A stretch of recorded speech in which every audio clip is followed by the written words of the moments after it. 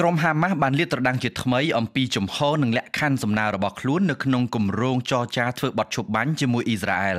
បទឈប់បាញ់រយៈពេល6សប្តាហ៍នៅក្នុងអំឡុងពេលនេះក្រុមហាម៉ាស់បានសន្យានឹងដោះលែងអ្នកទោសចំណាប់ធ្នូអ៊ីស្រាអែលចំនួន42នាក់ជាកូនក្មេងស្រីស្រីមនុស្សចាស់និងឈឺជាធ្នូវិញអ៊ីស្រាអែលត្រូវដោះលែងចំណាប់ខ្មាំងប៉ាឡេស្ទីនពី20ទៅ50នាក់មិនតែប៉ុណ្ណោះក្រុមហាម៉ាស់បានទាមទារឲ្យអ៊ីស្រាអែលដកទីហ៊ានចេញពីបណ្ដាទីក្រុងនិងទីប្រជុំជនរបស់ប៉ាឡេស្ទីនបើកផ្លូវឲ្យមនុស្សធ្វើចរាចរណ៍ចេញចូលជាប្រក្រតីធម្មតាឡើងវិញដោយគ្មានការត្រួតពិនិត្យដ៏តឹងតែងពីសំណាក់ទាហានអ៊ីស្រាអែល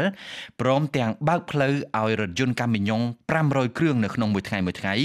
ដឹកជំនួយមនុស្សធម៌ចេញចូលតំបន់កាហ្សានេះបើតាមថ្នាក់ដឹកនាំក្រុមហាម៉ាស់ម្នាក់ដែលបានថ្លែងប្រាប់ទីភ្នាក់ងារព័ត៌មានបារាំង AFP នៅថ្ងៃសុក្រទី15មីនាប្រពន្ធពីភៀកគីអ៊ីស្រាអែលវិញ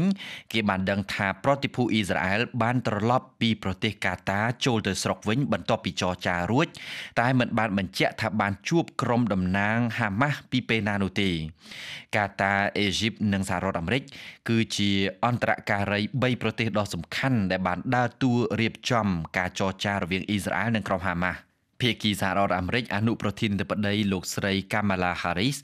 ជាមនុស្សម្នាក់នៅក្នុងចំណោមអ្នកដំបូងដំបូងគេនៅក្នុងរដ្ឋបាលសហរដ្ឋអាមេរិកដែលបានស្រែកទាមទារឲ្យមានបទឈប់បាញ់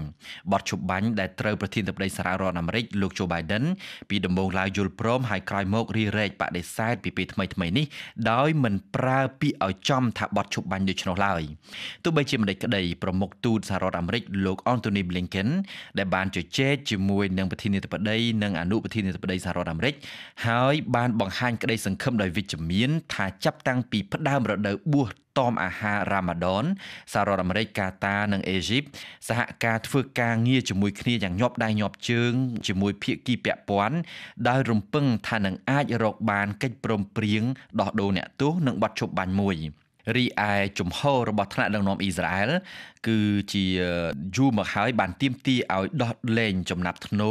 ដែលក្រុមហាម៉ាស់បានចាប់ឃុំជាច្រើនខែក៏ប៉ុន្តែ មានសញ្ញាថ្មីដែលអាចរំខានទៅដល់ដំណើរកិច្ចព្រមព្រៀងបទជប់បាញ់នេះ គឺនាយករដ្ឋមន្ត្រីអ៊ីស្រាអែលលោក Benjamin Netanyahu បានអះអាងពីថ្ងៃសុក្រជាថ្មីម្ដងទៀតថាកងទ័ពអ៊ីស្រាអែលត្រៀមខ្លួនជាស្រេចដើម្បីជំលះប្រជាជននៅក្នុងតំបន់រ៉ាហ្វាទាំងជាង1លាននាក់គម្រោងជំលះមនុស្សដ៏សន្ធឹកនេះទាំងសហរដ្ឋអាមេរិក ទាំងអង្គការសហប្រជាជាតិនិងទាំងសហគមន៍អន្តរជាតិជាច្រើនប្រទេសបានជំទាស់អ្នកនាំពាក្យក្រុមប្រឹក្សាសន្តិសុខសហរដ្ឋអាមេរិកលោក John Kirby បានបញ្ជាក់ថាអាមេរិកមិនគាំទ្រគម្រោងជំលះប្រជាជនប៉ាឡេស្ទីននេះឡើយហើយនឹងចង់មើលពិនិត្យមើលអំពីផែនការលម្អិតរបស់អ៊ីស្រាអែលជាមុនសិន។